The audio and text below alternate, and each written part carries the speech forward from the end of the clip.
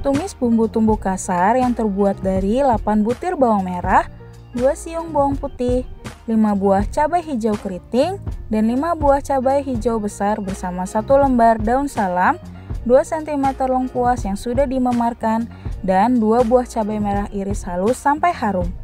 Pinggirkan tumisan, masukkan 5 butir telur kocok lepas, lalu aduk sampai menjadi orak-arik. Masukkan 35 gram teri yang sudah dicuci lalu digoreng sebentar dan 5 buah jamur merang yang sudah diiris halus. Aduk rata. Tambahkan 3 per 4 sendok teh garam dan 50 ml air. Kecilkan api. Masak sampai tinggal minyaknya saja.